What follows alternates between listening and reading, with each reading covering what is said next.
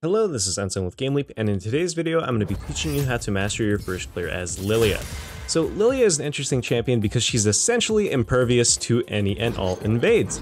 She's simply too fast, too healthy, and clears so quick that no champions can really compete with her. There are very, very few champions that can actually kill Lillia in her own jungle. So in today's video, I'm going to be teaching you how to clear as Lillia and basically how to keep your passive up 100% of the time. It's really, really important on this champion that you make sure that you're constantly able to get your Blooming Blows passive up, right? You want to make sure that you constantly have this move speed on because this is basically your safety net, right? If something happens and you get invaded, you can just run away if there is another champion in your general radius. The uptime of your passive also helps you run around your jungle. It's how you're able to kite mobs efficiently and get from place to place way faster.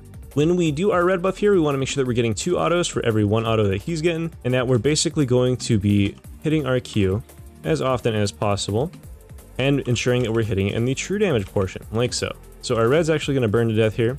We're going to walk over here, aggro all of these, try to slap them with the true damage if we can, and then go ahead and bonk them with the branch, like so. You can see just how quick we end up clearing this camp. Now we actually want to keep this guy alive for a little bit, so that we're able to walk over here and then smack him with our Q. As you can see, we have 4 stacks of our movement speed passive, and we're able to walk over here and hit all of these with the true damage portion and then bonk them with the branch, like so. So you can either keep the big ones or the small ones alive uh, when you are trying to go from camp to camp. It doesn't really matter too much, to be completely honest. Um, there are some people that like to kill the big ones, there's some people that like to kill the small ones. I personally don't care that much. I usually just try to walk over and ensure that my passive is going to be up no matter what, and I think that that's how most people should try to play Lillia. As you can see here, we're basically done with the top side of our jungle. We have another charge of Smite. Scuttle Crab's not quite up, so what we're able to do is hit 3, do our Gromp, like so, and just wait for Crab. If anybody wants to invade us, it's really hard for them to kill us because we've constantly been on 4 stacks, and even though this is a leashless clear, we're going to be at Crab before it even spawns. We're going to walk away here. We still have our 4 stacks, Crab comes up, and then we're able to hit it we're still maintaining 4 stacks the entire time. There is not a single champion in the game that is going to be able to chase down a 405 move speed champion this early on. If you do take this clear, you're going to be absolutely zooming, and if you get Crab, you can see just how much movement speed you get. Lillia is completely and utterly busted if you play her correctly. Let's go ahead and discuss what we did here. We do our red buff. We want to make sure that we're starting with auto Q, like so. You have to actually take a step back. I'm not sure if you guys noticed this. Whenever you go for your Q, even if you're auto attacking, you want to make sure that you're stepping into your buffs. That way you're still in the range of your Q. If we don't take that little step like this, we actually outrun our Q the vast majority of times, as you could see right about now.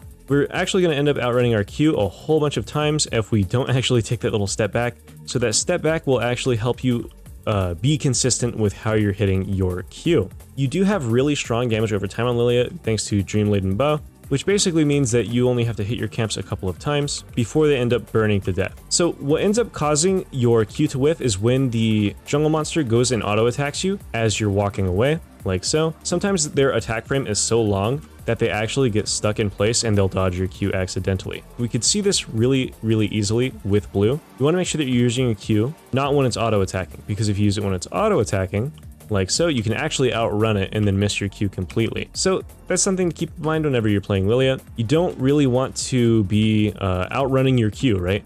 And then eventually, when you are strong enough, you can actually do the double camp thing here, pull both of these together like so, and do both of these at once with your really strong AoE. This is something that I would do on first clear if I have a really good leash. If you have somebody that is going to be giving you an amazing leash like a Sett or something, then you can definitely pull your blue and your gromp together. However, do note that this is a little bit risky if you are not super great at the champion, right? So I don't recommend this for new players. If you do want to double pull, what you want to do is this, and pull these together like so, and make sure that you're hitting both of them with your spells. The ideal spot to stand when you are double pulling is right here, just like this. You want to ensure that you're standing where these little trees meet here, so that way you're able to keep the patience meter on the jungle camps filled, and that you're able to kind of walk back and forth without pissing off the camp and making it reset. So right here on this side, you want to stand right about there, over here, you want to stand on this little blue mushroom. And if you're going to be pulling your raptors together, there's a little cutaway um, right about here where you want to be standing and you can pull your red and your raptors together to double clear them really, really fast. Mess around with this a little bit by yourself and tell me what you think about this. Um, Lillia's first clear is really easy. Just make sure that you keep your passive up, make sure that you're hitting your Q constantly and that you're not actually making yourself move out of range. It's very, very simple to play Lillia at a high level. Just make sure that you're basically allowing things to burn to death and that your passive's constantly up and you've essentially mastered the champ. She's really simple, really easy uh, to play, and incredibly, incredibly effective. So anyways, this is Unsung with Game Leap. Thank you all for watching and I hope you all have a wonderful day. I'll see you in the next one.